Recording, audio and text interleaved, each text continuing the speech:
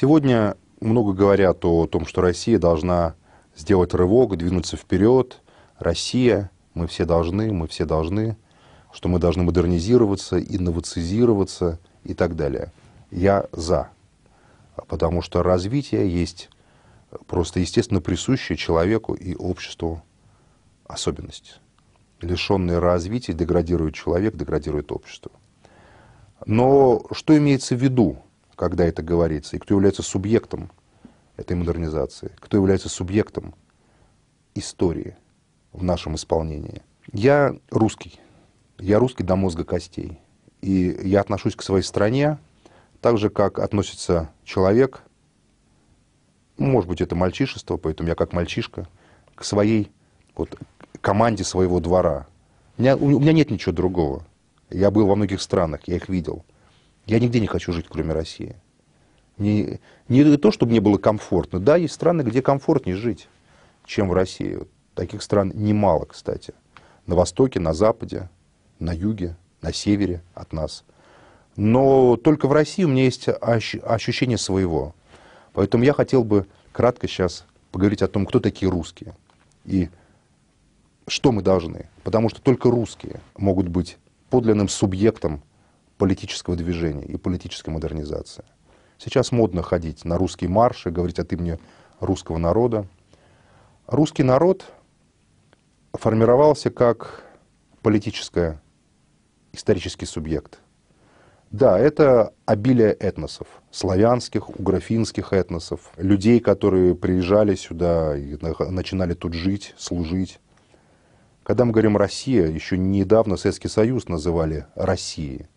Приезжают куда-нибудь советские узбеки или, или таджики, говорят, русская делегация приехала. Так было. Это, и это не случайно. Дело в том, что русские очень сильно связаны с идеей государства, с идеей исторической экспансии, исторического развития. Мы, русские, очень воинственный народ. Мы, наверное, один из самых воинственных народов в истории человечества.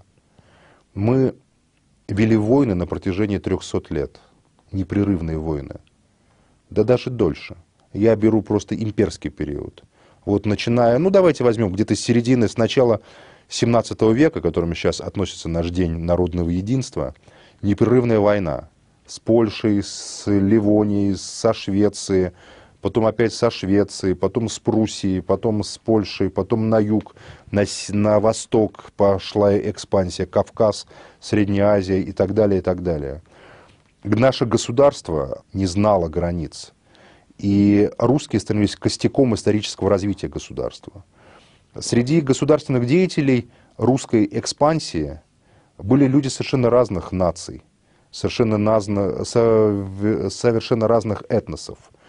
Французы, голландцы, шотландцы, грузины, татары, э, русские те же самые, немцы, естественно, кто угодно. Потому что русский проект сам по себе подразумевает проект развития. Колониальный ли это проект? Нет, это не совсем колониальный проект. То есть, может быть, он даже совсем не колониальный проект. Это абсолютно имперский проект.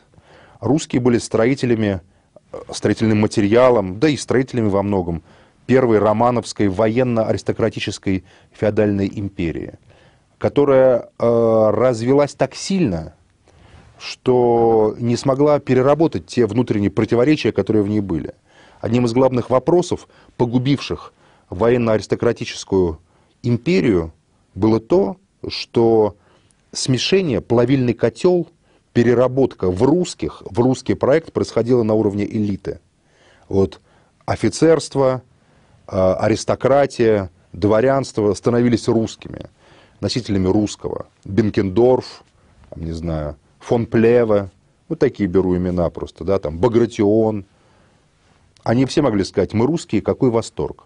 Хотя один был грузин, другие были немцами, там, шотландцами там, и так далее, и так далее, и так далее. Но народ, эта переработка никак не затрагивала. Народ был просто мобилизационным ресурсом, который просто поднимали, одевали и, и куда-то кидали. Какая-то часть народа все равно попадала в эту систему политического проекта. Он был очень элитный, очень элитарный.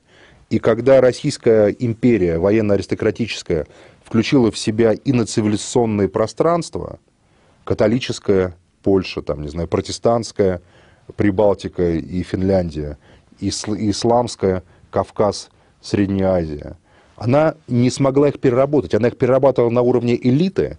Какой-нибудь Хан Нахичеванский становился командующим там гвардейской конницей, например. Я прошу историков простить меня. По-моему, это было так, потому что под в сражениях Пруссии 14 года он командовал конницей. Хан Нахичеванский покрыл там себя славой. Рененкампф командовал тоже там полками там, и так далее. Но сам по себе народ это серые шинельки. Из деревень брали мужиков, мужиков, мужиков, мужиков и кидали в эту войну. Потом они возвращались, и они не менялись. Национальные окраины, национальные эти анклавы обладали своей интеллигенцией, своим восприятием мира.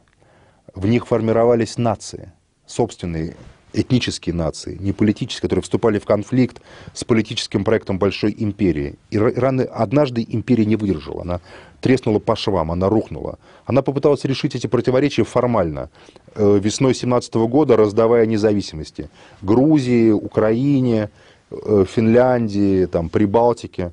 Сначала все было наивно. На протяжении всего 17 года полагали, что могут жить вместе. Очень быстро выяснилось, что вместе жить не могут. И все это развалилось в гражданскую войну превратилась.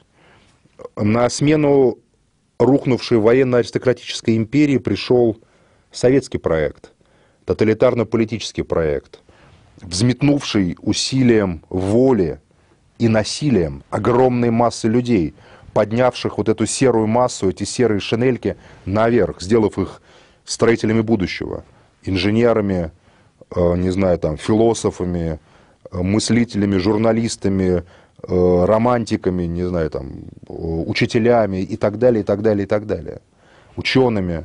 Огромные люди, это была попытка перемешать всех этих людей. Мы русские, это все называлось русской на самом деле. И когда пришел момент кризиса, война, а, интернациональная утопия о том, что, мол, все нации как один, все дадут отпор национальному социализму германскому, она рухнула. Выяснилось, что только русский народ, в основном русский народ, э, готов класть за этот проект своей жизни. Поэтому, кстати, Сталин и поднял тост за русский народ. Он прекрасно понимал, благодаря кому была спасена война и была спасена советской власти и Советский Союз. Огромные жертвы русского народа, как носителя этого смысла, главного держателя смыслов советского проекта. А попытка э, решить национальный вопрос, который был точно так же вопросом кризисным, через создание такой единой политической номенклатуры, единого политического пространства, он развалился. Как только исчезла необходимость мобилизации, как, как только от мобилизации пришли, перешли к социализации, к обустройству жизни – то все, все расползлись сразу. В каждой республике образовалась своя этническая номенклатура, которая сразу заявила о создании своего этнического государства. По сути, эти государства были полиэтнические, эти были осколки Советского Союза, но они очень быстро этницизировались. Азербайджанцы бежали из Армении в Азербайджан, армяне из Азербайджана в Армению, русские в ужасе бежали из Средней Азии, с Кавказа. Этот процесс был остановлен бюрократией, потому что мы перешли к третьей фазе существования исторического русского проекта, к попытке создать бюрократическую империю. Но в отличие от военно-аристократической империи, от имени которой говорят кавалергарды, век которых, которых недолг, и которые способны выйти на Сенатскую площадь, в отличие от Советской империи с ее комиссарами в пыльных шлемах, а ну, которые тоже имеют человеческие лица, которые совершали, может быть, страшные какие-то злодеяния, ну, кстати, не более страшные, чем кавалергарды, век которых недолг тоже, а, но совершали тоже, но это тоже воины, это люди. Мы перешли к бюрократам, которые, а, смысл жизни которых это заняться, занять поудобнее позицию в своей жизни и контролировать потоки. Контролировать потоки разрешительные, потоки запретительные – контролировать с помощью печати и подписи сам способ существования общества, способ существования людей. Я считаю, что бюрократическая империя – это гибель России, гибель русского проекта. Бюрократическая империя существует ровно столько, сколько ей позволяют существовать внешние силы. Она находится в полной зависимости от добрых дядей из Вашингтона, от добрых дядей из там, Брюсселя, от добрых дядей из Тель-Авива или от добрых дядей из Пекина. Пока она выгодна, и пока эти группы бюрократии имеют договоренности, как им кажется, а фактически, а фактически платят взятки мировому порядку, вот этой бюрократии будет позволено жить. Как только они перестанут быть выгодными, или группы этой бюрократии перебегут на сторону вероятного противника, тех, кто, кого они сейчас называют противником. И мы это видели в 1991 году, когда советская бюрократия просто взяла и приватизировала страну. И изменила всем словам, которые они говорили, из-за которых они нас гнобили. И перебежали на сторону противника, побежали на поклон. Нет ничего более постыдного, чем министр иностранных дел России 1992 года э, в поклоне скользящего с протянутой рукой навстречу американскому послу. Такие сцены описывали свидетели этих сцен. Бюрократии нет. Она не способна на модернизацию. Она в ней не заинтересована. Кто же способен?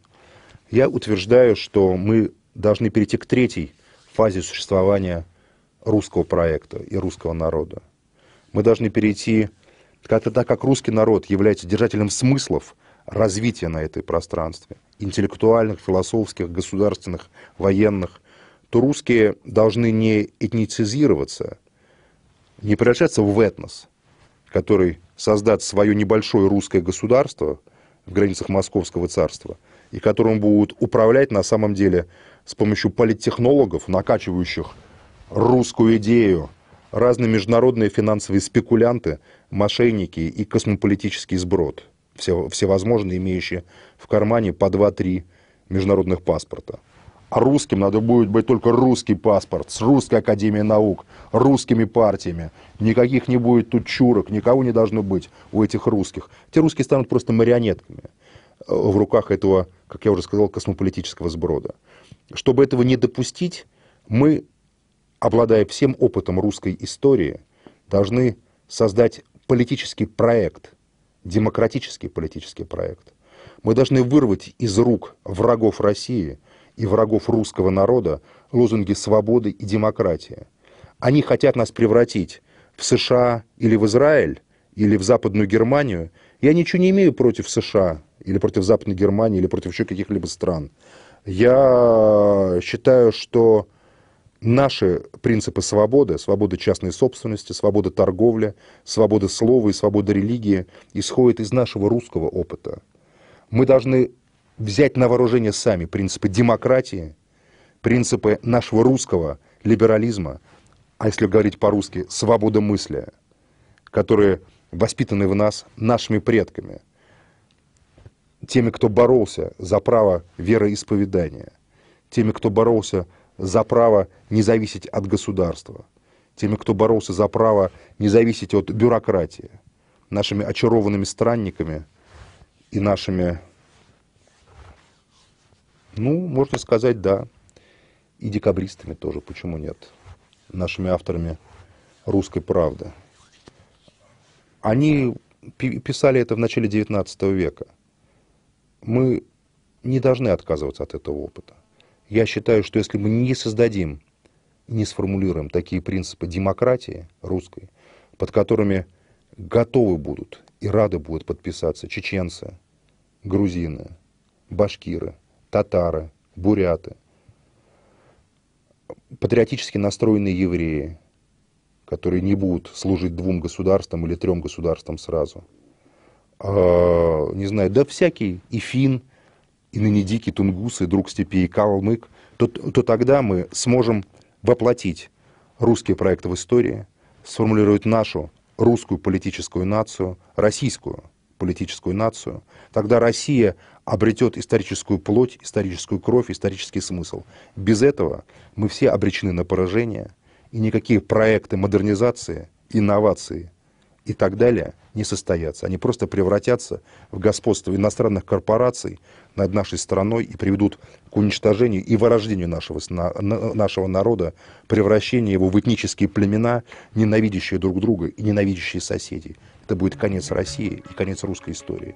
У нас нет иного выбора, кроме демократии.